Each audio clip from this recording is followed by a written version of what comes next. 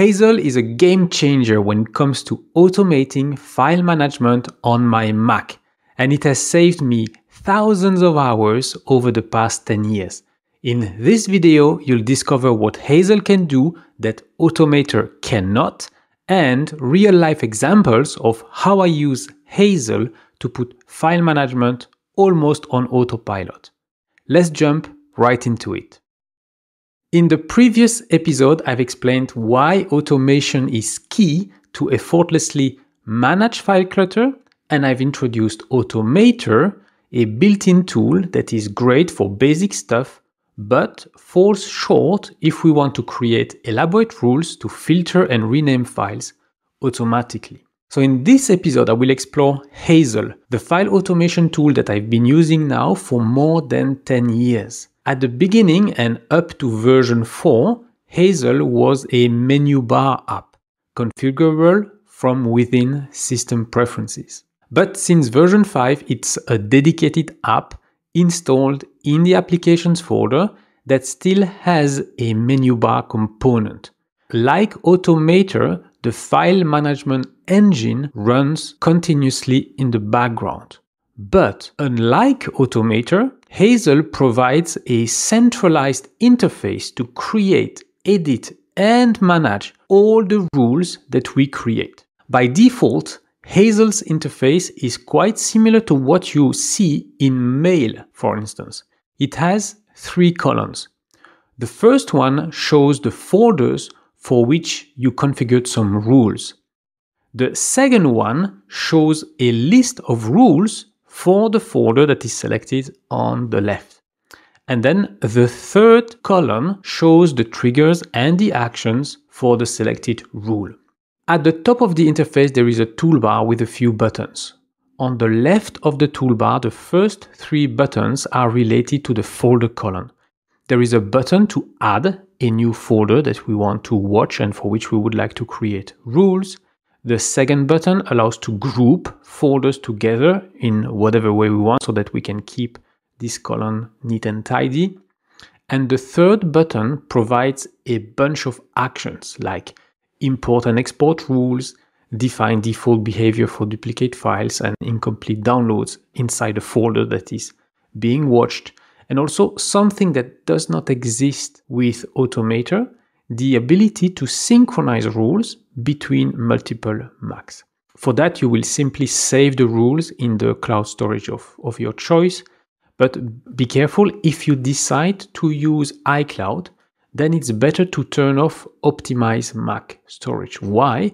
Because it's the only way to guarantee that the file with the rules will be permanently stored on your Mac. The next four toolbar buttons are related to the rules column. The first one is used to create a new rule. Another button allows to check the status of all the rules for the watched folder. This is super useful to troubleshoot why a file doesn't get processed, for instance. There's a button to pause all the rules for the selected folder in a single click.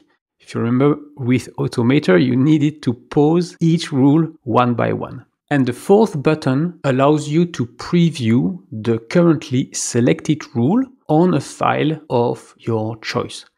Again, this approach is much more user-friendly than what we needed to do with Automator.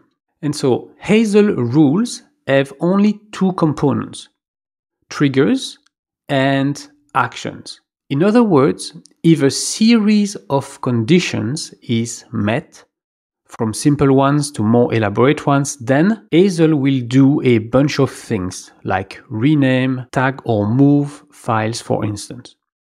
In both cases, Hazel offers many more options than Automator and rather than boring you going through the list of all those options, I will illustrate how I personally use Hazel with a few examples that you may find useful as well. So the first example helps me keep the desktop folder neat and tidy. So there are two sets of conditions that need to be met for the rule to kick in. The first set says if it's after 11 p.m. or if a file gets the color label green. And the second set of conditions states that it will work for everything except for folders and aliases. So aliases are shortcuts to existing files and folders. And so for any of the matched files, three actions will be performed. The color label will be removed, if there was any. The match file will be moved to the downloads folder. And then a tag named Hazel will get added to the file. In other words, this rule automatically moves stuff from my desktop to the downloads folder, either when I manually add a green label to the file or every day at 11 pm. The second example helps me keep the downloads folder neat and tidy. There are six conditions that need to be met for the rule to kick in. It can't be a folder, it must not have been created or added or modified in the last two weeks. The color label cannot be red and it must not be tagged keep. And so whenever these six conditions are true, then one simple action is performed. The file is moved to a dash archived subfolder that is located within the downloads folder. What it means is that if a file has been stale for two weeks and either I didn't move it or another rule didn't kick it to, to handle it in, in the meantime, I've decided to put that file away just in case. In essence, it's a little bit like sweeping old stuff under the rug, but in the virtual environment. I could have chosen for the action to be moved to trash, but I decided against that simply because the trash is not backed up by Time Machine and I wanted a way to recover the content of that dash archive folder if anything happened to my computer. The third example is the improved version of handling the purchase orders that I uh, introduced in the previous episode. If you remember, with Automator, I was renaming the file using the date that I was processing it. Now with Hazel, it's actually possible to use a date that is written inside the PDF. And so here are the three conditions that need to be met for that rule to kick in. First, the name needs to start with EasyTech-AP. It needs to be a PDF. And inside the PDF, there needs to be a date, but formatted in a certain way. And this last uh, condition is really what makes Hazel far superior to Automator. The syntax is contents contain match. And then we specify a matching criteria. In this example, I have chosen a custom date, but it could be a specific word or a specific number. It could even be a combination of letters and digits. The possibilities here are really mind boggling. In the case of the purchase orders, the date has actually a specific format it is the day in one or two digits. So if it's the 2nd of September, it will be the number 2 and not 02. Then a space, then the full month in letters, for instance, September, then another space, and then the year with four digits. And what is really great with Hazel is that creating this pattern is just a matter of drag and drop and then typing the spaces in between. And what's super powerful is that whenever such a date gets matched, it also gets saved within a token that can then be reused later on. Which brings me to the actions that will be performed for these purchase orders uh, landing in the downloads folder. The first action consists in renaming the file by prepending the date that was found within the purchase order PDF file itself. And so even if I download the purchase order two or three days after it landed in my email inbox, it doesn't matter. The renamed file will get the correct issue date in the name. And then the second action is to automatically move that file, that PDF file that has been renamed, to a purchase orders folder inside the client's main folder somewhere on my Synology NAS. And like with Automator, we can specify what to do whenever a file with the same name already exists in the destination folder. So we can decide to rename, replace, or throw away the existing file. But unlike Automator, we can also decide the opposite. We could say, keep the existing file intact and throw away the new one, which can be useful when we have sometimes duplicate files that are downloaded and we want to make sure that we keep the last one intact and archived. So now let's go through the pros and cons of Hazel. The killer feature of Hazel is really the ability to relatively easily extract almost anything from within files, including PDFs, and then reuse that information either for subsequent conditions, but also within actions, like what we have done with renaming a file, for instance. The second biggest advantage of Hazel is the centralized management of all the rules that we have created, followed by the ability to synchronize those rules between multiple Macs. Now, beware that this will only work or this will be useful if all the destination folders that are used for the move actions are accessible from all the computers.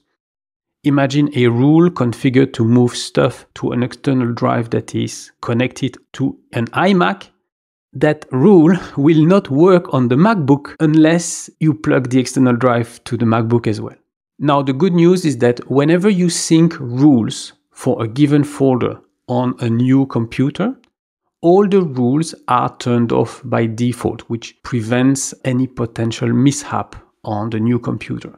And the, the other good news is that it's also possible to deactivate a rule on one computer, let's say the MacBook Pro, while leaving it running on the other Mac, the iMac, without affecting the synchronization. Another thing that makes Hazel a much better value proposition than Automator is the wider range of triggers and actions that it can perform.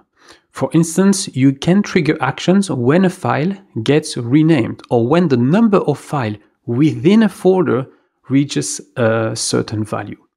And then on the actions side, you can easily sort files into subfolders and name those subfolders following a pattern that you can customize. So, for instance, you could decide to archive stuff in subfolders that would be the year dash the month.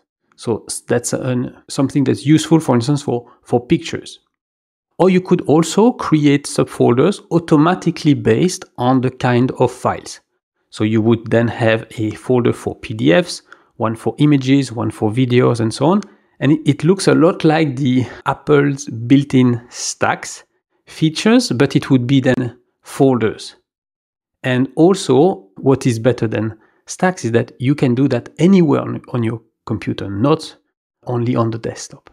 The last advantage of Hazel is a couple of features that Apple isn't providing yet and that are especially useful for those who have laptops with 128 or 256 gigabytes of internal storage. The first is the ability to automatically take care of the trash by specifying an amount of time after which files will get permanently removed and also by capping the trash size to whatever amount you want. And the second is a feature called App Sweep, which can automatically remove hidden folders, which usually contains logs and cached files, that are left behind when you remove an app by putting it in the trash. The thing is, few people realize that removing an app from the applications folder does not entirely remove everything. It's a little bit the equivalent of breadcrumbs that would be uh, left behind. But sometimes those breadcrumbs actually occupy a lot of space, up to several gigabytes. And so with Hazel, it's possible to fully uninstall applications and remove those breadcrumbs along the way. Now, on the flip side, Hazel is so powerful that it's very easy to feel overwhelmed by what it can do. And also, I'm going to be honest with you, the, the learning curve gets very steep as soon as you try to do something a little bit elaborate. Now, the good news is that the forum on the developer's website is very active and the community members are extremely supportive. And so, whenever I felt stuck, a quick search in, inside the Hazel forum would usually provide a solution or guide me in the right direction. And if that doesn't help, David Sparks offers a field guide dedicated to Hazel that he updated back in 2021 to cover Hazel version 5. I've purchased this uh, field guide myself and I recommend it uh, wholeheartedly. I will put a link in the show notes for those who are interested, either uh, to visit the forum or the um, David Sparks Hazel field guide. So at the time of recording, you can purchase a single license of Hazel for $42 and a family license for up to five members of your household for $65. Upgrading from a previous version costs 20 bucks. And in preparation for this episode, I realized that I already did two upgrades. So I went from version 3 to version 4, and recently I upgraded from version 4 to version 5 all in all, I believe the value that Hazel provides is incredible and that the time that I save thanks to a handful of well crafted rules more than compensate the cost of this software. And best of all, the developer offers a 14 day free trial. So you have ample time to try Hazel out and see for yourself how much time you can reclaim. So that's it for today. I hope this episode has motivated you to download Hazel's free trial and to invest a couple of hours automating file management on your Mac. If you do, please send me a DM on social. I'm, a, I'm at MacpreneurFM on Instagram, Facebook, and TikTok. I'd love to know what automation you have put in place and how much time you have reclaimed as a result. This is the last episode in the series covering the three killers of Mac productivity. Starting with the next episode, I'll kick off season three of the podcast that will cover artificial intelligence and how solopreneurs can leverage this emerging technology to streamline their business. I will start by defining what artificial intelligence is and what it isn't, then highlight various applications of AI and more importantly, what tools and techniques we can use on our Mac to be more efficient and productive so we can best serve our clients and enjoy more free time along the way. So that's it for today. If you haven't yet taken the free quiz that will give you personalized tips on how to tame the three killers of Mac productivity, head on to macpreneur.com forward slash score. So visit macpreneur.com forward slash score for personalized tips on how to boost your Mac productivity today. Until next time, I'm Damien Schreurs, wishing you a great day. You've been listening to the Macpreneur podcast. If you've enjoyed the show, please leave a review and share it with a friend right now.